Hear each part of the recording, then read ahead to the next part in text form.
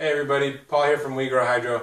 Today we're going to show you the proper way to calibrate your Hanna Combo Meter HI98129. First thing you want to do is make sure your combination meter is cleaned before calibration. So we got some soapy water here and a toothbrush. You can twist it into the bristles for the pH probe.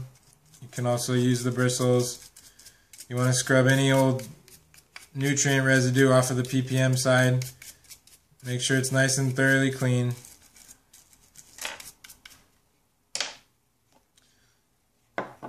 Go ahead and give it a good rinse in water.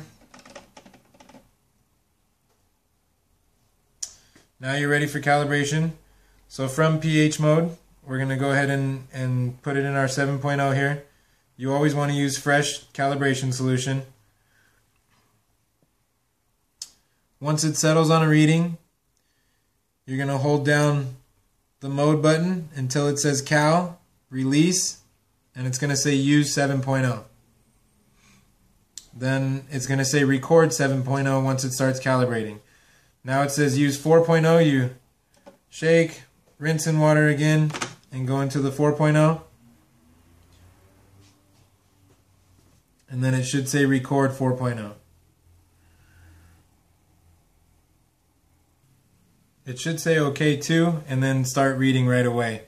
Now you're okay to go ahead and calibrate ppm side. Go ahead and give it a rinse. Switch mode over to ppm.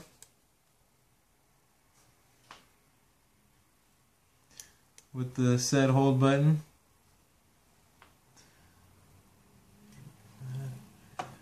And then you're going to go ahead and use their Hanna 1413 solution.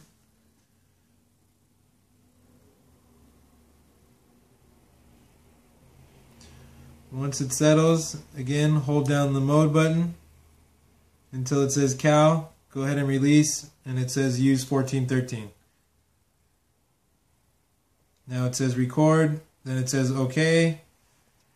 Your meter is fully calibrated. Again, if you have any questions or problems, always come by the store or give us a contact. Um, and the last thing you want to do before putting this away when you're done is add some, there's a little reservoir inside the cap. You want to add some kind of uh, storage solution to that uh, to keep the pH probe from drying. And you're ready to go.